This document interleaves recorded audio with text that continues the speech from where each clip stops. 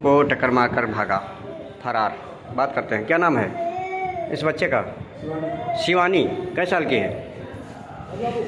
पाँच साल की। और पिताजी का क्या नाम? रमेश कुमार। घर कहाँ है? शिवपुरी। अच्छा ये इनकी माँ है? हाँ। ये कहाँ जा रही थी? बच्चा कहाँ था? बच्चा कहाँ गया था? सड़क के किनारे था। कहीं आ रहा था क्या? रोड के किनारे घर है? अच्छा।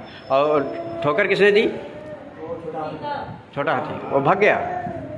जैसा कि आप लोगों ने देखा, मामला शिवपुरी का है, थाना रेवसा। और ये घर के किनारे खेल रहा था बच्चा और अचानक ठोकर देकर फरार हो गया। आप देख सकते हैं, रेवसा सेची लाया गया, जहाँ पर इलाज जारी।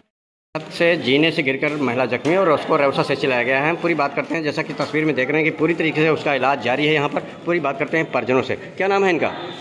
सीमा। पति क्या? है? दीपू, घर कहाँ है? गुलाबपुरवा सेवता के पास। अच्छा थाना कौन लगता है? रेउसा। कहाँ से लाई हो? कहाँ से लाई हो?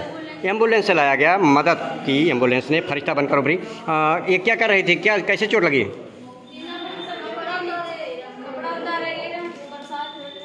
जैसा कि आप लोगों ने देखा कि जी, घर के छत पर जी पसार रही थी कपड़े और कपड़े उतार पानी आ गया अचानक, जिससे कपड़े उतारते वक्त जीने से बैलेंस बिगड़ा और फड़बड़ा कर नीचे गिर गई और चोटिल हो गई। देवसा से चिलाया गया है, एंबुलेंस ने मदद की।